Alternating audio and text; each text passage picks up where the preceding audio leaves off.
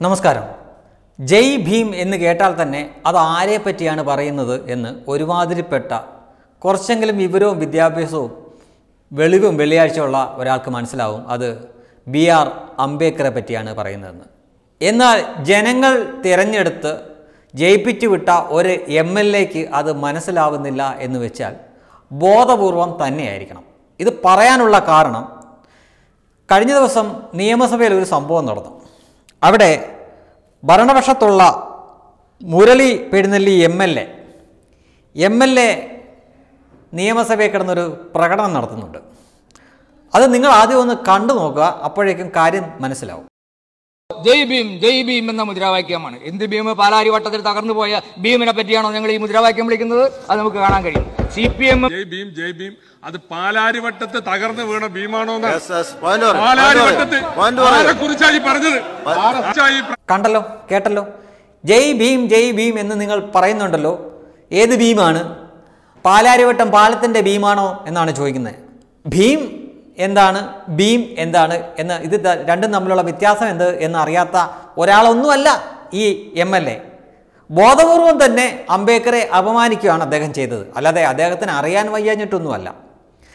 രാജിവെച്ച കഴിഞ്ഞ ദിവസം രാജിവെച്ച സജി ചെറിയൻ എന്ന മന്ത്രി ഇപ്പോൾ അദ്ദേഹം മന്ത്രിയല്ല.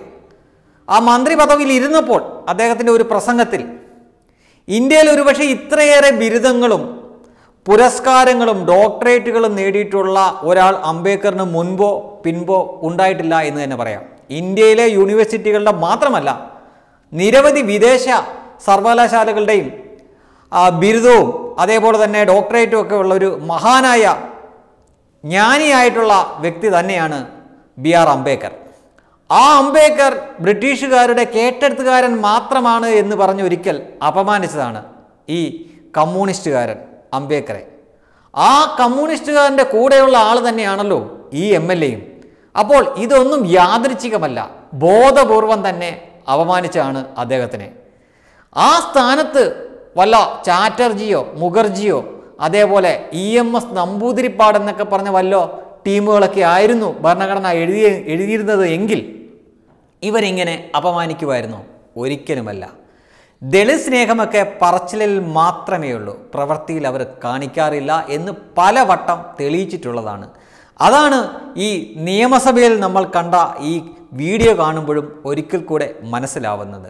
ജയ് ഭീം ജയ് ഭീം എന്ന മുദ്രാവാക്യമാണ്. എന്ത് ഭീം? പാലാരി വട്ടത്തിൽ തകർന്നു പോയ ഭീമിനെ പറ്റിയാണോ ഞങ്ങൾ ഈ മുദ്രാവാക്യം വിളിക്കുന്നത്? അത് നമുക്ക് കാണാൻ കഴിയും. സി പി എം ജയ് ഭീം ജയ് ഭീം.